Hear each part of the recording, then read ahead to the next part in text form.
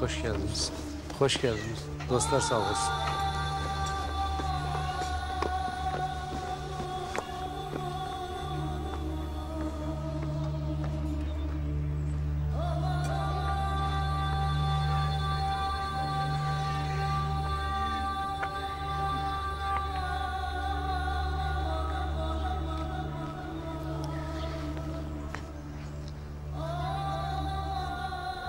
Annem babamdan sonra yaşadığım bu üçüncü büyük acı.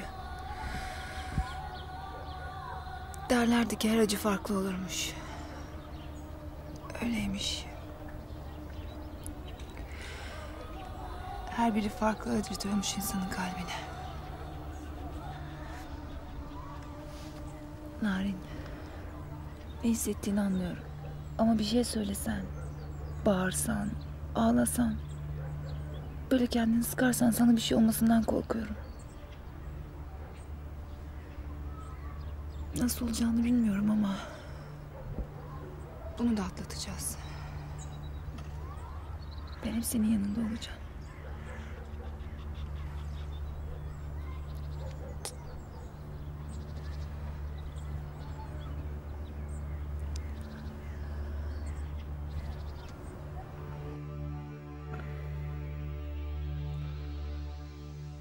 Ayşe, Buyur ağam. ara bakalım Sıla'yı. Narin nasılmış? Hem Sıla'yı da sor, iyi mi? Hemen ağam.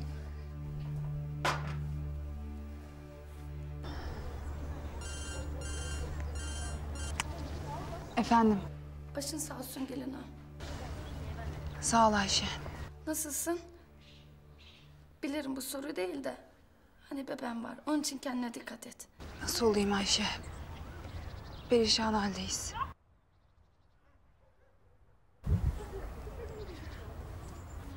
Abim daha çok gençti. Ölüm ona hiç yakışmadı.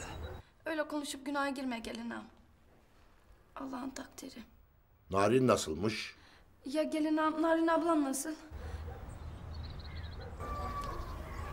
Ne diyeyim ki Ayşe? Durumu beni çok korkutuyor. Ne konuşuyor, ne ağlıyor. Ne yapacağım ben de şaşırdım. Allah hepinize sabır versin gelin ağam. Bir şeye ihtiyacın olursa ara hemen. Sağ ol Ayşe. Nasıllarmış? Gelin ağam iyi ama üzgün. Narin abla pek iyi değilmiş. Ne olmuş anlatsana adamı deli etme. Gelin ağam dedi ki... Narin ablanın dili lal, gözleri kör olmuş.